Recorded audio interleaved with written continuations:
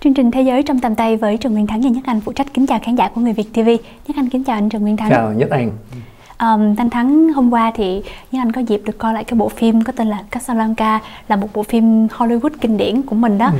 Thì um, hôm lúc mà coi thì uh, có những cái um, lúc mà coi về nói về tới thành phố Casablanca thì Nhất Anh thấy có vẻ như là rất là thấy rất là nhiều cái mà để mình muốn tìm hiểu tới nhưng mà ừ. cái uh, quên mất là không biết là ở thành ở quốc gia nào mà có phải ở Monaco Minh Thắng À, Casablanca là một cái thành phố lớn của cái đất nước gọi là Morocco chứ không phải Monaco.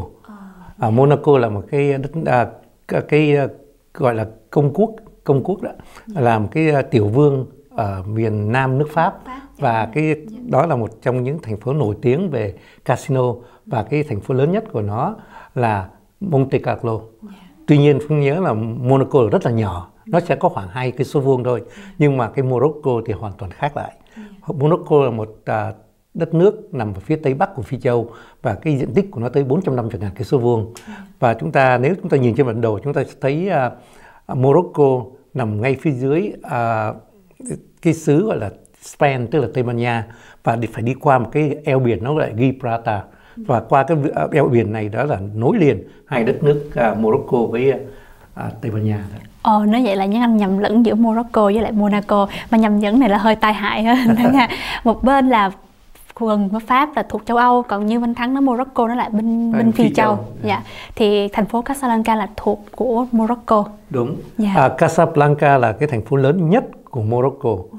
À, sở dĩ người ta gọi Casablanca là Casa là nhà, mà Blanca là màu trắng, có nghĩa là những ngôi nhà màu trắng thành ra người ta đặt tên à, cho cái thành phố đó là Casablanca. Đây là thành phố nằm về ngay cái biển địa trung hải phía đông của ừ, phía tây của Morocco. Nhưng mà nếu nói ờ, thêm đó thì ờ, trong ờ, cái, cái thành phố của Morocco thì lớn nhất là Casablanca. Nhưng thủ đô đó là Rabat nằm phía bắc của Casablanca. Nhưng mà chúng ta đi về phía tây nam phía dưới chút xíu đó thì chúng ta sẽ đi tới một cái thành phố mà tôi à, rất là thích thú mà đến Morocco là ai bất cứ ai du khách đến nơi là phải đi cái thành phố đó. Nó thành phố đó nó tên là Marrakech. Vậy thôi thì uh, nay mình lỡ rồi thì mình nói luôn Morocco đi. Tại vì cái cái đó là chắc cũng lạ lắm. Mà ông chắc không nghĩ không những nhất anh đâu mà chắc có nhiều khán giả người Việt TV cũng chưa có biết được tới đất nước này hay là cái thành phố Marrakech. Thực sự Morocco thì cũng là một cái thành à, là một cái đất nước mà có lẽ người Việt Nam mình cũng uh, ngày xưa cũng đã nghe nói đến là cả Maroc đó. Hay nói đến Tết Maroc đó chẳng hạn. Tết Maroc là không bao giờ xảy ra chẳng hạn. Nhưng mà uh, ngày xưa Morocco cũng là một cái uh, xứ được Pháp bảo hộ. Thành thử trong cái gọi là đế quốc Pháp đó, ngày xưa đó, họ cũng có in à, bao gồm cả Việt Nam mình nữa, coi như những bảo hộ cả ba cái xứ gọi là à, Đông Dương đó, nó có năm nước là Bắc Kỳ, Nam Kỳ, Trung Kỳ và à, Lào và Campuchia. Nó gọi là Liên bang Đông Dương ngày xưa dưới thời của Pháp thuộc đó. Thế tuy nhiên thì à, Morocco nó cũng là một trong bảo hộ thành thử ít nhiều chúng ta có nghe đến những cái xứ Morocco ngày xưa yeah. Dạ. và trong đó thì à, nhất là vào những cái dịp mà khoảng thập niên 40 trở đi đó thì ai cũng nghe đến cái chữ Casablanca thành ra có lẽ nhiều người họ biết qua cái phim Casablanca. Dạ. Yeah. Um, thế nên Thắng có nói tới là cái thành phố Marrakech là một trong những thành phố lớn nhất của Morocco thì ở thành phố đó thì có cái gì đặc biệt để mà du khách tới để mà có thể xem hơn nếu nếu chúng ta đến Casablanca thì chúng ta có thể thường ngoạn những cái à, những cái khu vực nhà dọc theo những cái bờ biển Marrakech. của địa trung hải. Thì tuy nhiên thì Marrakech á, à, nó là thành phố lớn thứ hai của Morocco. Ừ. cái thành phố này đặc biệt nó nằm trong phía trong nội địa. Và đi từ Casablanca chúng ta đi xuống miền Nam đó chúng ta phải đi tới khoảng 250 cây số chúng ta đến nơi.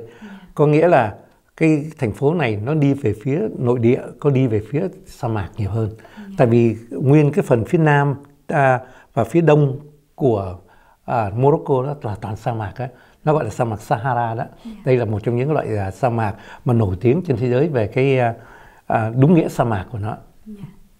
Thì à, khi chúng ta đến à, Marrakech thì cái đầu tiên và người ta phải nhận thấy đây là một cái thành phố nổi tiếng của Morocco về vấn đề văn hóa về vấn đề lịch sử và kiến trúc của nó nữa và đặc biệt là trong thành phố Marrakech thì người ta thường hay mệnh trong khi Casablanca thì người ta gọi là thành phố à, trắng có những ngôi nhà trắng yeah. Dạ. thì à, Marrakech gọi là thành phố của những ngôi nhà màu hồng Ừ. Cái lý do là tại sao nó gọi là màu hồng? Tại vì họ dùng được những cái gạch của sa mạc để họ xây nhà.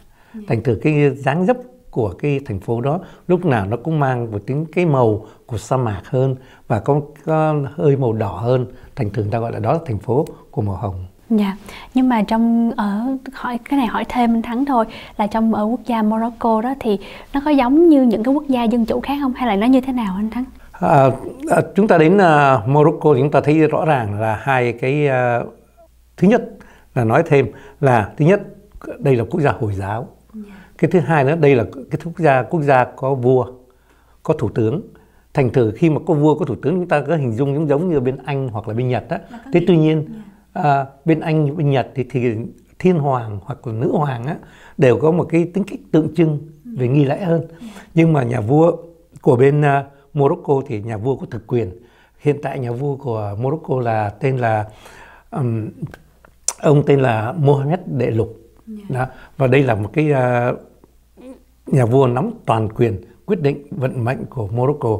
Và thủ tướng chỉ là người điều hành cái uh, cái chính phủ của Morocco thôi. Có nghĩa là vua là người đứng đầu. Vua là người đứng đầu. Và chúng ta đến đây chúng ta có dịp đi đến uh, uh, một cái thành phố nó gọi là thủ đô của kinh đô của Morocco đó là Rabat nằm ở phía bắc của Casablanca và nằm ngay sát biển.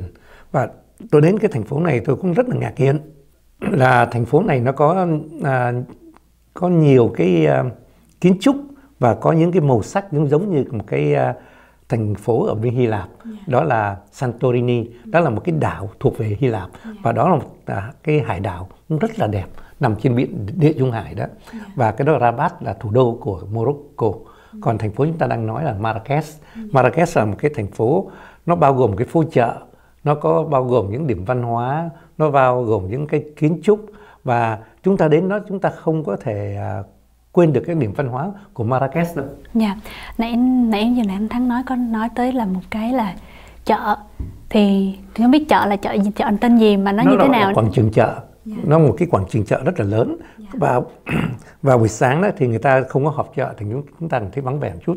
Thế tuy nhiên khi bắt buổi chiều đổ xuống đó, khi mà ánh nắng vừa mới bắt đầu từ từ mà vào hoàng hôn đó, yeah. thì khu chợ này rất là vui và khu chợ này nó có tên nó gọi là Zema Fa. Zema Fa. Zema El Fa và đây là một cái khu chợ là được coi như là được uh, UNESCO của thế giới công nhận đây là một di sản văn hóa của thế giới của ma của Morocco và cái điều đó cho chúng ta biết là đây là khu chợ nó phải có những cái đặc tính riêng biệt hoặc là những cái sầm uất nhộn nhịp và những cái nét gì đó mà chúng ta đến nơi thì chúng ta mới cảm nhận được thôi. Vậy thì những nét mà anh Thắng nói là nó đặc trưng của Morocco hay là những nét đặc biệt gì đó anh Thắng có thể chia sẻ được không? À,